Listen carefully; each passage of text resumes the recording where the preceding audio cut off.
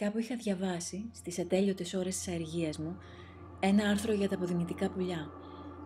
Όσα τύχει να χάσουν το σμήνος τους και να καταλήξουν αλλού, παραπλανημένα από τις συνθήκες, ονομάζονται τυχαίοι επισκέπτες.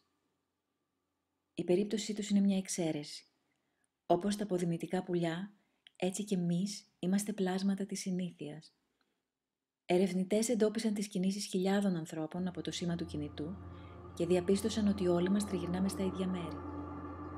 Ονόμασαν το φαινόμενο αυτοπεριορισμό της ψυχογεωγραφίας. Θυμάμαι ακόμη το συμπέρασμα εκείνης της έρευνας. Παρά τη δραματική ιστορία των ταξιδιών και της μετανάστευσης, ακολουθούμε στις μετακινήσεις μας ένα απλό σχέδιο. Το δικό μου σχέδιο δεν ήταν απλό. Ή έτσι τουλάχιστον πίστευα.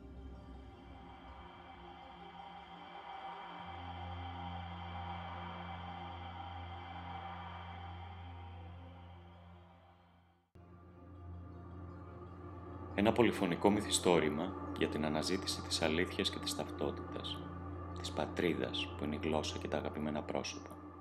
Μια περιπέτεια που διατρέχει τόπους, από τον Κορινθιακό ως το Βερολίνο και την Ταγκέρη, για να περιγράψει τελικά το πιο αναπάντεχο εσωτερικό ταξίδι. Αμάντα Μιχαλοπούλου, πώς να κρυφτείς. Κυκλοφορεί από τις εκδόσεις Καστανιώτη.